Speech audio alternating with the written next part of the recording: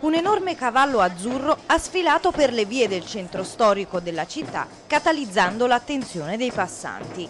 Adulti, bambini, napoletani e turisti, tutti a chiedersi cosa fosse e cosa rappresentasse quella grossa scultura in vetroresina che al suo seguito portava oltre 100 tra operatori e utenti del terzo settore.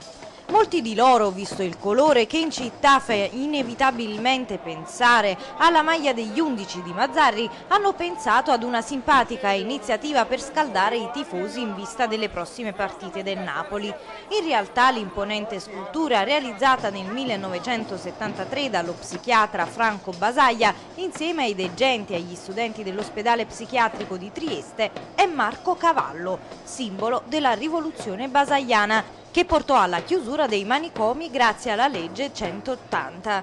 Da allora il cavallo azzurro gira il mondo come simbolo dei diritti dei sofferenti psichici e di tutte le persone in condizioni di disagio. A Napoli è arrivato in occasione del Festival del Cinema e dei Diritti Umani e per la giornata Nonostante Voi, storie di persone diversamente normali.